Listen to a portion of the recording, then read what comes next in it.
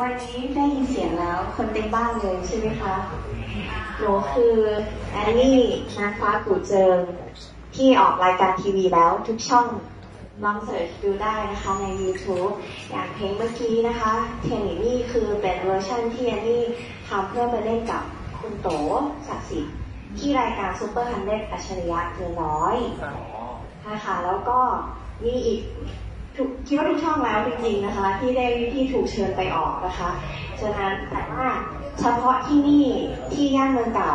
ที่ทุกคนจะได้ฟังอันที่ใกล้ ๆ แล้วก็เป็นกันเองแบบนี้ขอเพลงได้ อยากจะคุยอยากจะถามอะไรก็ได้ค่ะ ถ้าเป็นที่อื่นนี่คือจะต้องเชิญไปเป็นอีเวนต์นะคะ เพราะว่าแอนนี่เป็นเด็กที่เกิดในชุมชนท่องเที่ยวย่านเมืองเก่าค่ะนี่นี่ก็เป็นบ้านของแอนนี่เลย แล้วก็ ความที่ได้ฉายานางฟ้าผูเจอแล้วก็ชื่อเสียงก็มาจากเริ่มต้นจากชุมชนท่องเที่ยวนี่แหละค่ะเพราะว่าปกติเล่นผูเจออยู่กับบ้าน แล้วก็แกะเพลงเอง แล้วก็พยายามออกไปทำงานข้างนอก แต่ว่าเรามองไม่เห็นใช่ไหมคะก็เจออุปสรรคเยอะแล้วก็ไม่ปลอดภัยด้วย แต่พอมีการท่องเที่ยวชุมชนนะคะกลายเป็นทุกวันนี้คือเป็นนักดนตรีรับจ้างที่แทบจะไม่ได้อยู่บ้านเลย ก็ โดนเชิญไปตามงานต่างๆนะคะ แล้วก็